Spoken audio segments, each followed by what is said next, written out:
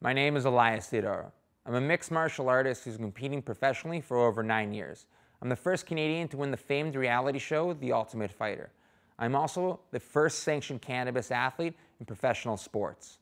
My next fight will be in British Columbia as I look to validate my therapeutic use exemption for cannabis in competition and set precedent not only for myself, but all other athletes. My next fight will not only be in the cage, but also to knock cannabis out of the prohibited list in athletics. Mixed martial arts, by its very definition, is a combat sport that pulls from the many different fighting styles and techniques for complete competition. As an athlete who started later than most, I've always looked at myself as a blank canvas and a forever student. Started really working with Elias last year around June. He contacted me, wanted to change his game after the UFC there a little bit, uh, trying to get a little more aggressive. So with wrestling, it's uh, very aggressive. Um, it pushes Elias to not back up like he has maybe in the past and to always go forward, be like tenacious. And that's just what a wrestling mindset is. Despite the many challenges we all lived through during 2020, I stayed focused with my training through hard work and discipline with one focus on my mind, to be a more complete fighter. Preparing for a fight is a grueling routine. It involves training every day, twice a day, for an hour to two hours at a time, with everything coming together for sparring, which is each Saturday. That's 10 sessions involving kickboxing, boxing, getting punched, kicked, lift, thrown, and having to lift very heavy things in between. The reward I get for all my hard work, the blood, sweat, and tears, is through sparring, where I take everything I learn each and every week and put it to the ultimate test, and that way become ready for fight night. Elias got two major strengths, right? One is that he learns exceptionally fast. That's how he's able to evolve so fast in the MMA game. But the his biggest competitive advantage is his mental game. He's got that, you know, Spartan warrior lineage. And we, for this camp, we've doubled down on his on his mental game. So technical skill, it's just it, it, it takes such a backseat to the mental game because at this level, your cognitive performance is what makes or breaks you. That's his, his major strength.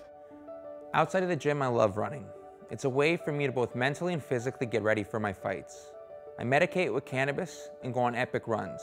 In doing so, I can push my cardio, I can push my conditioning, and I can build my will to win, the will to dominate my opponent.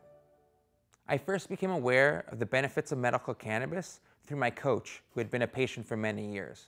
It was during our travels when he did not have access to his medical cannabis and was forced to take opioids and painkillers that I saw the toll it took on him firsthand. Fast track to my own injuries, which all started in a previous life as a semi-pro skateboarder in which I broke my hand and had two breaks and four fractures that needed a bone graft to repair, which all resulted in subsequent nerve damage. Then compound the many years of mixed martial arts training and competing in which my bilateral neuropathy developed and became what it is today. When discussing my medical condition of bilateral neuropathy with my doctor, we decided that cannabis was the best medicine for me with the least amount of side effects as both patient and athlete. My biggest challenge was getting around the outdated stigma surrounding cannabis and the fact that it's illegal and banned in professional sports. The biggest hurdle was getting the documentation together to prove my medicine was medicine. When competing in the US, I applied for a therapeutic use exemption. It was an uphill battle because the United States Anti-Doping Agency looks at cannabis as a Schedule 1 drug. Therefore, there's no medical property, and I was not able to argue the same medical cannabis rights afforded to me as a Canadian in Canada. However, now competing in Canada, I was able to apply for a therapeutic use exemption through the British Columbia Commission. They not only recognized my therapeutic use exemption, but also my fundamental right to medicate as prescribed by my doctor and afforded to me by my Charter of Rights and Freedom. This was the first time a therapeutic use exemption was approved in the North American Commission system or any governmental body in the sports world. During my time competing in the US, I wasn't able to use my medicine as prescribed by my doctor. And that change in routine forced me to change my fighting style, no longer being able to push myself because of the competitive disadvantage I have not being able to use my medicine. No longer the grinder who was looking for a finish, I became a point fighter that was looking to intelligently win a fight. And there was criticism because of that. Fast track to my last fight in Ontario, where cannabis isn't considered a prohibited substance that they test for, I was able to medicate all through training and up to my last fight. The results spoke for themselves. I got a devastating win over a great opponent. The Spartan! Over the last decade or so, mixed martial arts has become a sport. And in doing so, sports nutrition has been very vital to the top athletes. When I do have a fight, the last month or so, I'm chipping away at carbohydrates. And what that does is it switches my fuel source from a carbohydrate to healthy fats and puts me closer and closer in ketosis. My diet primarily consists of nuts, avocados, almonds, healthy fats, all kind of blended in giant salads, chock full of protein like chicken, shrimp, and other lean meats. And I can take my body from 210 to 185 in a couple of weeks. And you adding now in water loading, where you're adding as much water as possible, roughly about 10 liters or so, uh, about a week out, and you're essentially filling your bladder like a balloon, and when you pull the water source, the balloon empties. And that compounded with your ketosis allows you to cut the weight that I'm able to do. Now having over 20 professional fights, my body essentially knows the routine. It may not know I'm having a fight, but it knows I'm doing that thing that I always do before I compete. Another aspect of my medical cannabis routine that goes hand in hand with my diet is my use of raw cannabis. It is a vital ingredient with all the other ingredients that I use in my daily smoothies. And it allows me to harness the benefits of cannabis with all the anti-inflammatory properties and none of the psychoactive components. My medical cannabis use and dosage is very much a day-to-day process.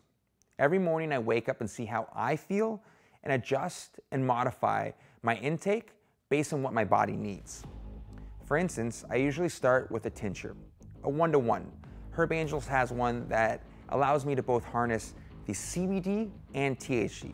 CBD is the anti-inflammatory component and THC is the pain management component. Then, as mentioned before, I usually follow up with a raw cannabis smoothie diet, again, harnessing the anti-inflammatory properties of cannabis with none of the psychoactive component. Then I'm off to training. Training with Elias has been awesome. Like I said, he's uh, you know competed at the highest level multiple times, Ultimate Fighter winner, competing for one of the biggest and best organizations out there in terms of MMA. Um, really helped uh, turn my game up in the wrestling side and uh, some of the things that I was lacking in my career before, um, which is high intensity, high, high pressure of the wrestling world. And uh, it's been just a pleasure and, and really taken my game to the next level. And depending on how hard a training session is and how any of my, you know, my condition or any injuries are, there I medicate with cannabis through flower. And I do so with a vaporization.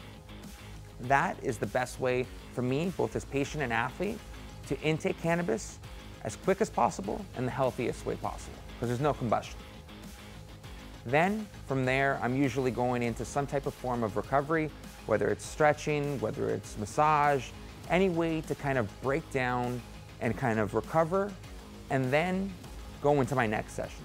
Again, seeing how my body feels, I'll medicate with cannabis through vapor and flower. In the evening, I'll apply certain topicals, again, from Herb Angels. They, they have different types of um, topicals that allow me to apply the cannabis directly onto my uh, affected areas and then, you know, working through my body and feeling it. And in the evening, just before I go to sleep, I'll medicate with indica that allows me to focus on the pain management, go to sleep, rest, recover, and start a brand new day. After I make history in the province of British Columbia as the first sanctioned cannabis athlete in the world, I have my sights set on the US, specifically California. The process has already started. My lawyer has handed in my application for a therapeutic use exemption. And once approved, the process will allow other athletes from the US to apply for their own therapeutic use exemption in California in ways they wouldn't be able to do on their own. And then, once they're approved, they can take it to different jurisdictions all over the US. My development as a professional mixed martial artist and cannabis advocate is a uniquely Canadian experience, as Canada has long recognized the medical benefits of cannabis, but more recently, taking an extraordinary step of legalizing it nationwide. Additionally, Canada is a hotbed for mixed martial arts, both in its fan base, but also producing some of the best fighters to ever do it. It is a true honor to represent Canada each and every time I step into the cage. And for my next fight, as a trailblazer for medical cannabis rights, not only for myself, but all other athletes.